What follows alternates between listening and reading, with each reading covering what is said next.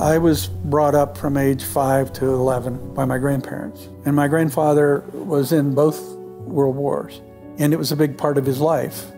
I'd go around with him and we'd meet people that he was in the military with. I thought, well, he'd be proud of me if I did well in the military. When I started looking into West Point, I uh, realized how good a school it is. And at that time, it was all engineering, and I was interested in engineering.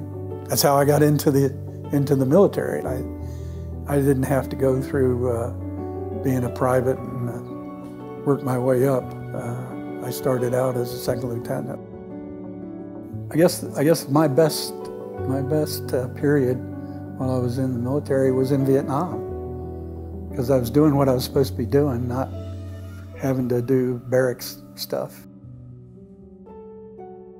It was more satisfying work because we you know, I felt like we were doing what we were supposed, what we were hired to do, and uh, all the rest of it was preparation for that.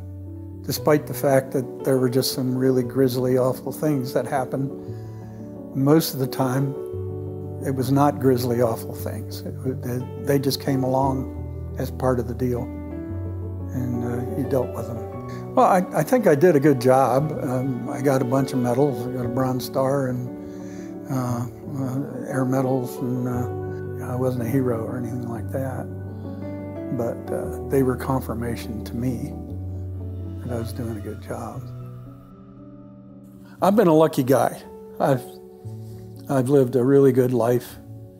I've I've done work that I enjoy doing, and I just feel like uh, I feel like I owe it back to something to people. I want to pay back uh, one of the goals I had was I wanted to do things for veterans if I could. And I had trouble trying to find something that I was satisfied with.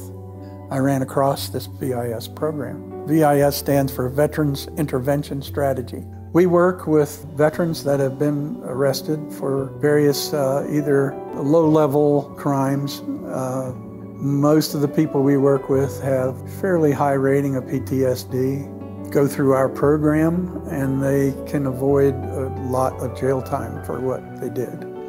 My job is to help them through the program, basically. Um, I'm their best bud in the VIS program.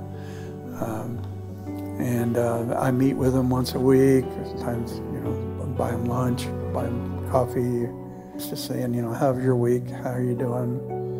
And I think it's a great program because a lot of these guys, they're not doing this stuff because they want to. These are things they're forced to do. They are things that that happen when you when you've been through the kind of terrifying experiences that they've been through. We're available to help them out, and it's an official help.